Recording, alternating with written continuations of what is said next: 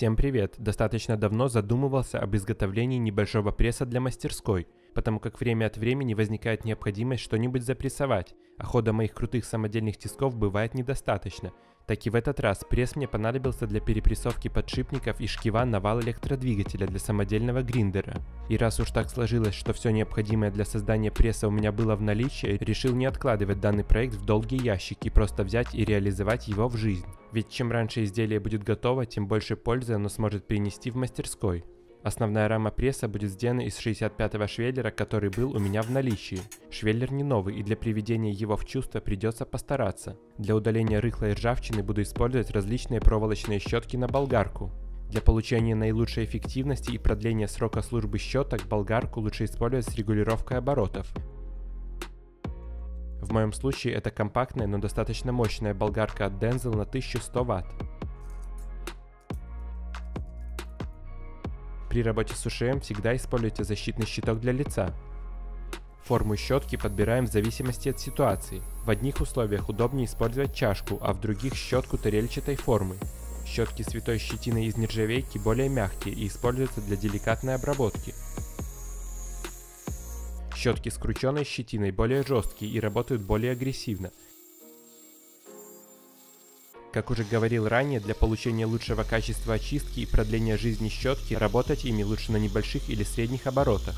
Швеллер очищен и подготовлен для дальнейшей работы. Можно приступать к нанесению разметки. Совет для начинающих мастеров. Для получения качественного результата забудьте про всевозможные маркеры. Для точной разметки используем чертилку с твердосплавным наконечником, а также качественный угольник. Такая чертилка оставляет после себя тонкую и максимально четкую линию. Покупаю их на AliExpress. Кому нужно, ссылку на них, а также другие мои полезные инструменты оставлю в описании.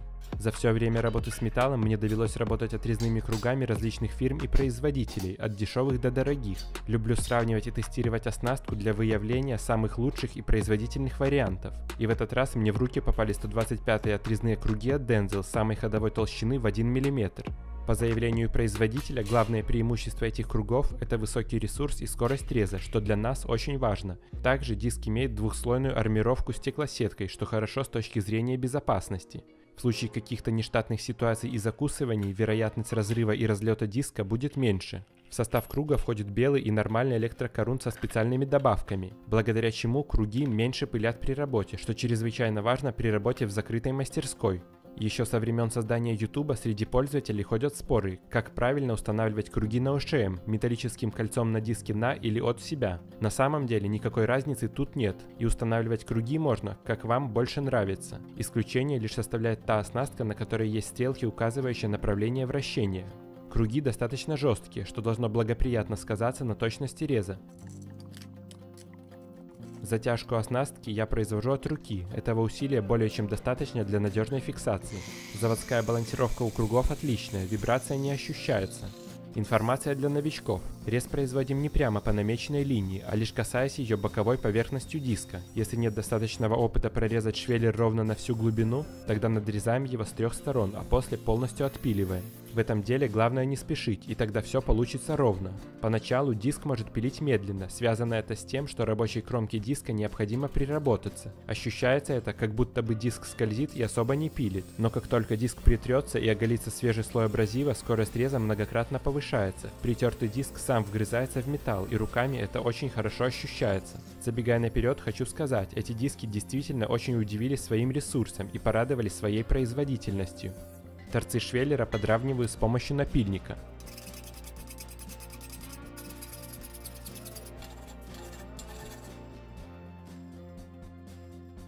Все заготовки нарезаны. Длина стоек пресса 1400 мм в моем случае обусловлена длиной имеющихся у меня в наличии заготовок.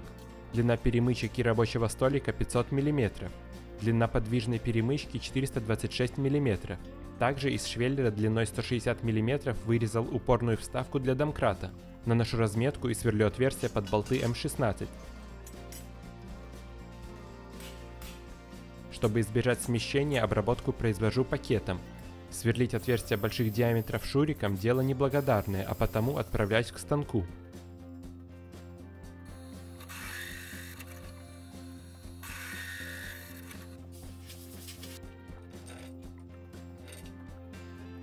Из трубы сделал распорные втулки. Ну а теперь самое время нанести разметку под отверстие переставного столика. Их шаг подбирается исходя из длины хода штока домкрата. В моем случае ход штока составляет 160 мм. И чтобы иметь небольшой запас по выдвижению, расстояние между центрами отверстий я сделаю 150 мм. Керним и сверлим, постепенно увеличивая диаметр сверла, в моем случае до 18 мм. Использование частотника на сверлильном станке позволяет выставлять очень низкие обороты, что благоприятно сказывается на ресурсе сверл больших диаметров.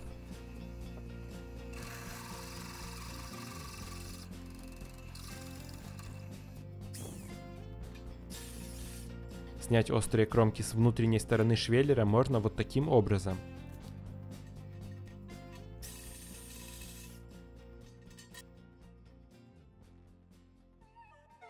качестве пальца буду использовать шток от амортизатора диаметром 18 мм. Из профильной трубы 60 на 30 сделаю распорку в нижней части пресса. Из металла толщиной 10 мм делаю две силовые заглушки.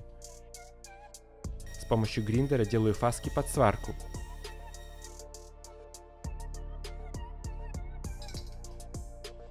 Тут для фиксации очень удобно использовать магнитный уголок.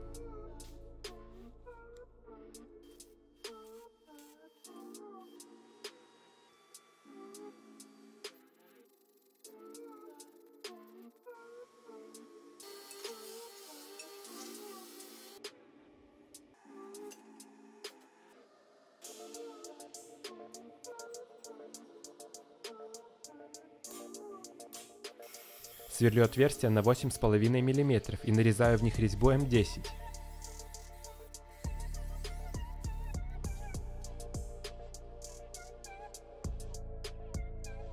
Из 40 уголка вырезал две ножки длиной 450 мм. Грань швеллера скругляю, чтобы он мог плотно стыковаться с уголком.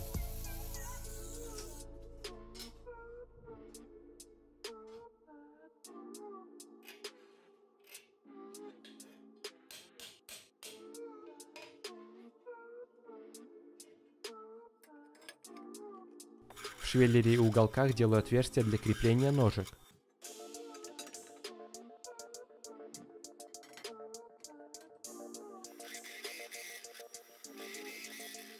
С помощью цыковки формирую плоскость прилегания головки винта. Кому нужно, ссылку на цыковки я также оставлю в описании.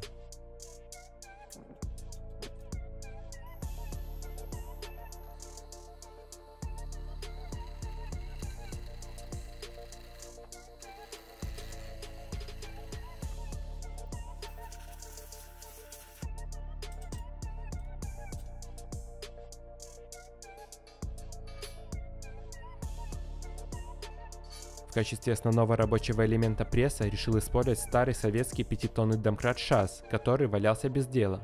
Он был исправный, но установить его на пресс в таком виде мне не позволило несколько вещей. Во-первых, подтекающее масло с насоса. Во-вторых, дичайшие люфты и выработка шарнирного механизма. Ну и в-третьих, уставший внешний вид.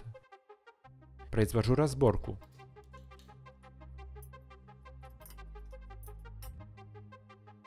Очистку буду производить с помощью пескоструйного аппарата.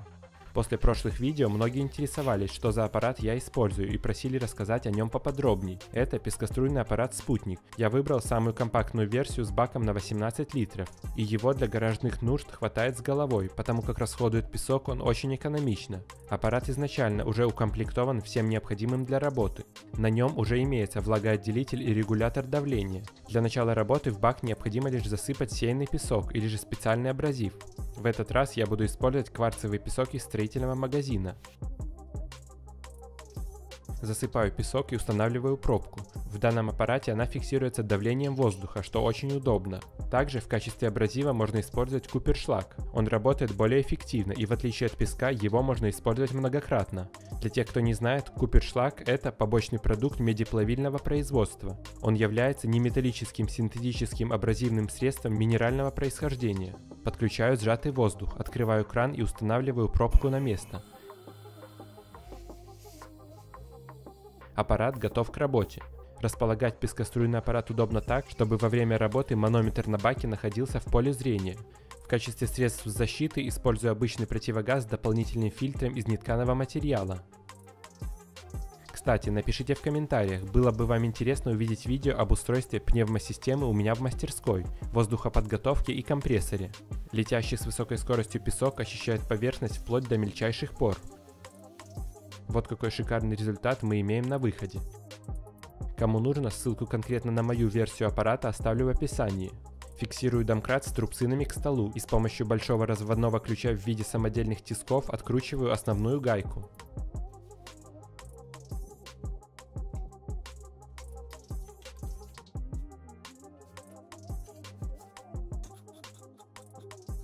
Сливаю старое масло, от времени оно превратилось в кисель.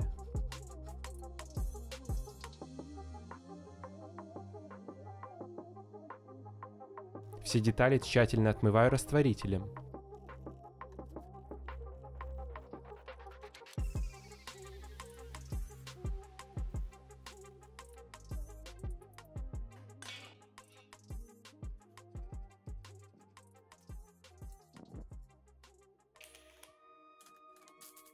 Разбираю насос и выкручиваю пробки.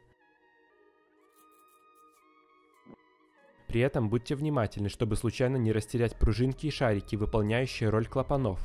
Чтобы сильно не растягивать видео, домкрат я перебрал за кадром, заменил все необходимые уплотнения и собрал в обратной последовательности. Видео с подробной переборкой таких домкратов полно на ютубе, а необходимые ремкомплекты можно купить на Озон. Для более удобной установки на пресс, рукоятку решил повернуть на 45 градусов. Для этого изготовил новую точку крепления шарнирного механизма. Чтобы убрать люфты шарнирного механизма, отверстие рассверлил под больший диаметр, а штифты выточил новые, чтобы вставали плотно и без люфтов.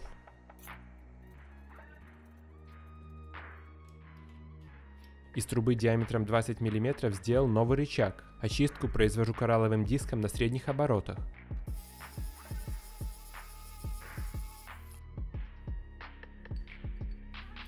Теперь механизм будет работать четко и без люфтов.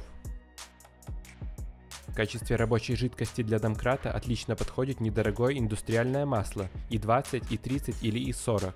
Вязкость подбирается в зависимости от температуры, при которой будет эксплуатироваться домкрат.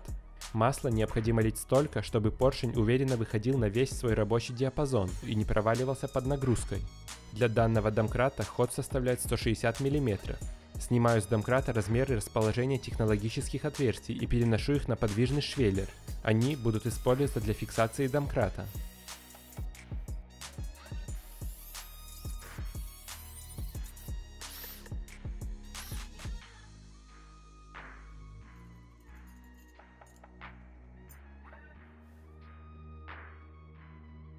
С помощью бормашины и маленького шлифовального диска формирую плоскость под головку винта.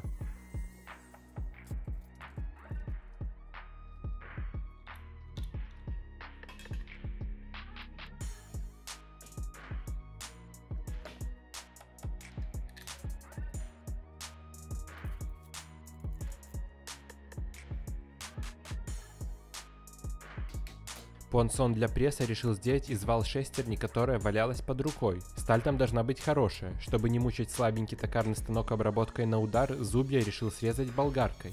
Должен сказать, в работе эти отрезные круги мне очень понравились. Пилишь, пилишь, а круг все держится и стачиваться не собирается. Подготовленную заготовку устанавливаю в токарник для дальнейшей обработки.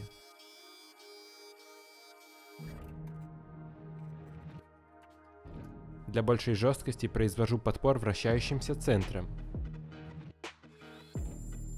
Делаю контрольный съем. Замеряю фактический диаметр и заношу его в УЦИ для привязки резца к координатам. Кому нужно, ссылку на такой классный цифровой микрометр оставлю в описании. Отрезать заготовку на своем нежестком станке я не рискнул. Произвожу разметку, а дальше в ход идет ленточная пила. Уже за кадром выточил втулку для фиксации пуансона. Nice. Края втулки подтачиваю по форме швеллера с помощью гриндера.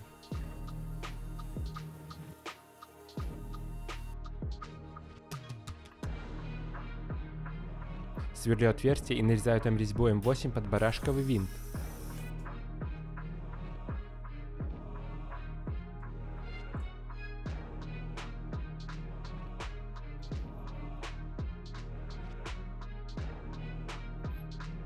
Верхний упор для домкрата также сделаю из куска швеллера, который усилю листовым металлом. Для фиксации штока изготовил кольцо с прижимным винтом.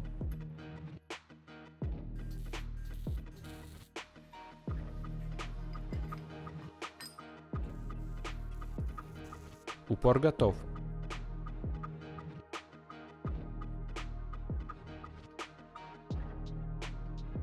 Остальные конструкционные элементы пресса также подготовлены. Везде, где это необходимо, сделаны фаски под сварочный шов. Прикручиваю нижнюю перемычку с ножками.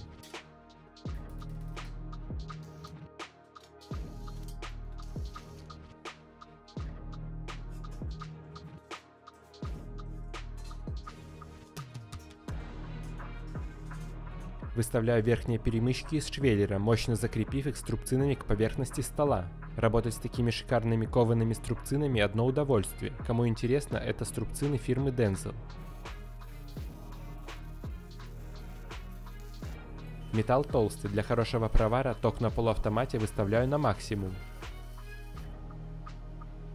Привариваю упор. Сверху захотелось варить дополнительное ребро жесткости для лучшего распределения нагрузки от штока домкрата. Сварочные швы минимально облагораживаю. К подвижному швеллеру привариваю втулку фиксации пуансона. Возвратную пружину сделаю из дверной пружины, разрезанной наполовину.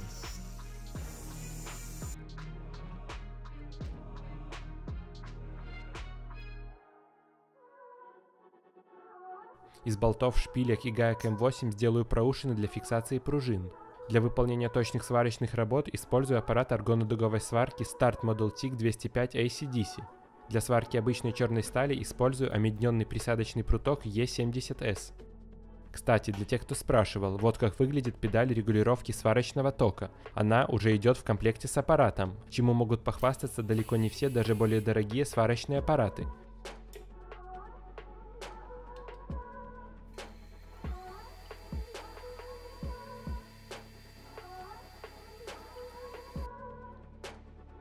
Тут вы можете наглядно видеть, как с помощью педали меняется ток в процессе сварки.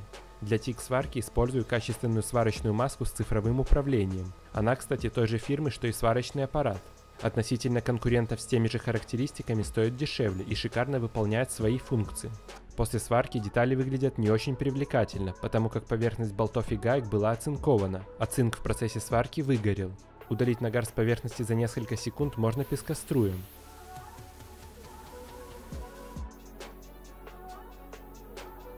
Привариваю пластины крепления пружин. Пальцы для фиксации рабочего стола сделаю из штока от амортизаторов диаметром 18 мм.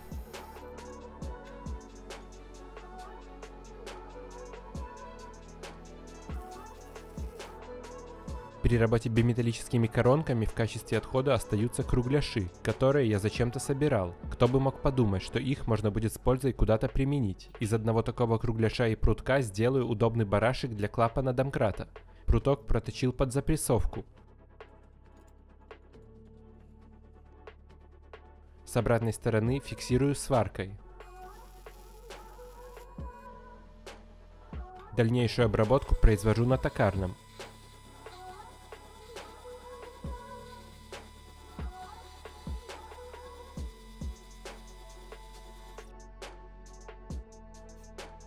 Когда-то давно по ошибке приобрел на AliExpress вот такую накатку. Я не знал, что накатки такой конструкции очень плохо работают на маленьких токарных станках, потому как создают большую отгибающую нагрузку на шпиндель. На основе роликов этой накатки изготовил самодельный вариант, который при работе не нагружает шпиндель токарного станка. Кому интересно, накатки такой конструкции можно купить уже готовые. Кому нужно, ссылку оставлю в описании.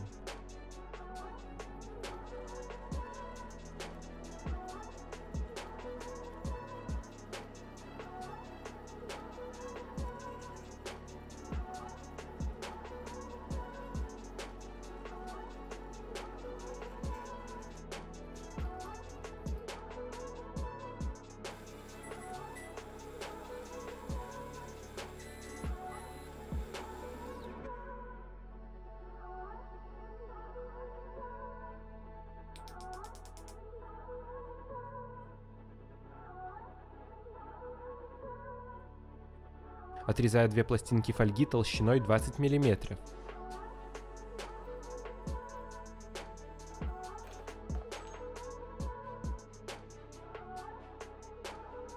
Торцы облагораживаю с помощью гриндера. Мощности гриндера спутник с двигателем на 1,5 кВт вполне хватает для обработки таких толщин. Наношу разметку и делаю треугольные вырезы. Пластины для рабочего стола готовы. К ножкам привариваю гайки М10 для регулируемых опор.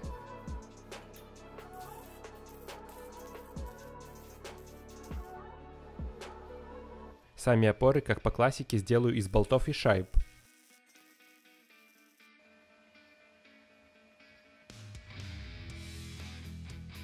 Пресс готов. За кадром все острые углы скруглил для меньшей травмоопасности. Произвожу полную разборку и подготовку под покраску.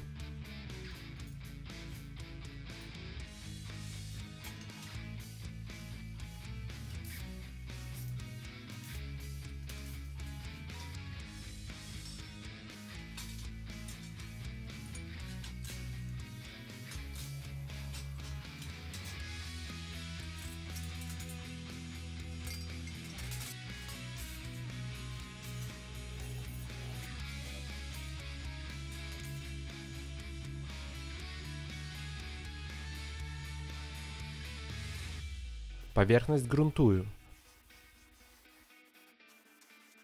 Пока грунт сохнет, покрашу домкрат. Грунт высох, произвожу окрашивание.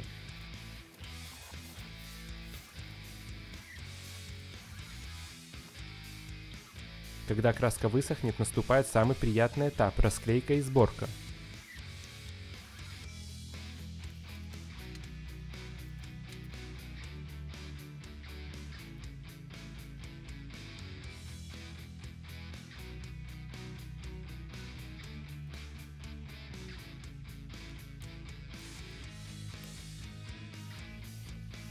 Теперь шарнирный механизм домкрата работает плавно и без люфтов.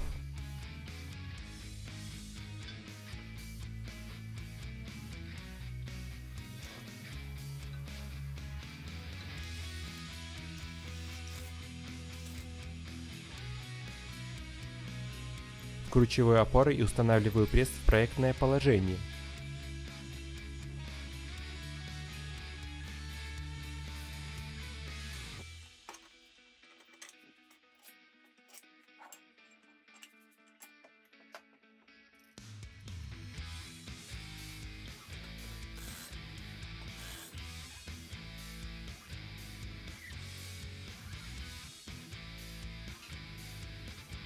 С помощью сверла произвожу очистку отверстия от краски.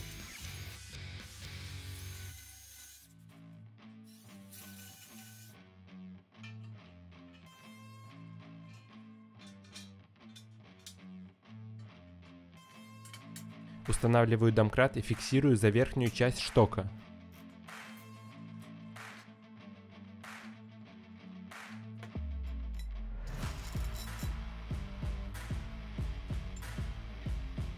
Прикручиваю подвижный швеллер, а также 4 ограничительные пластины. Под них я сделал подкладки из жести толщиной полмиллиметра для создания необходимого зазора.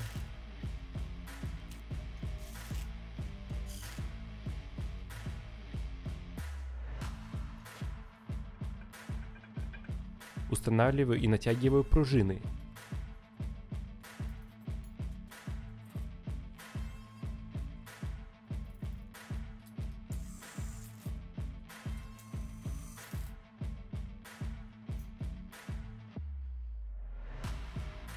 Понсон решил сделать съемный, чтобы при необходимости его можно было быстро заменить на насадку другой формы.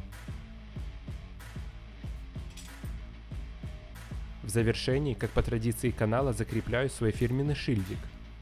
Вот теперь пресс полностью готов.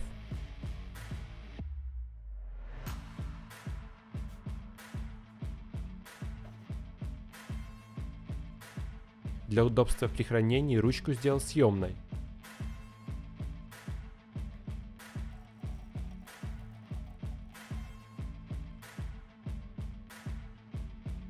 Рабочий ход пресса 160 мм.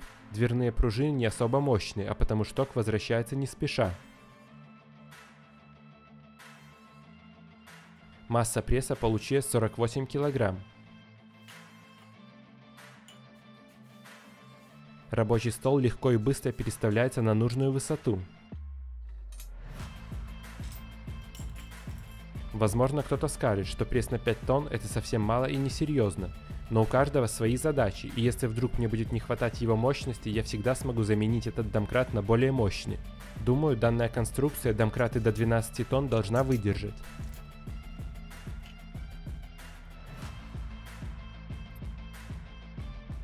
Ну и да, какой тест пресса без смятия профильной трубы.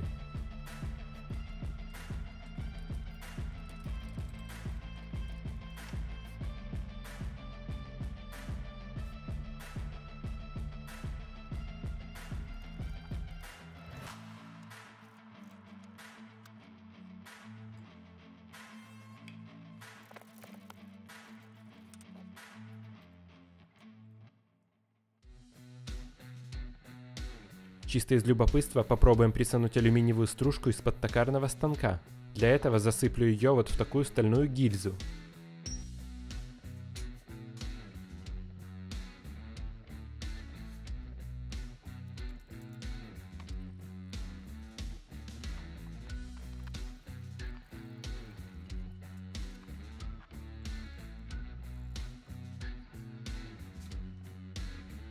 Брикет получился достаточно сыпучий, вероятно 5 тонн для этих задач все же маловато.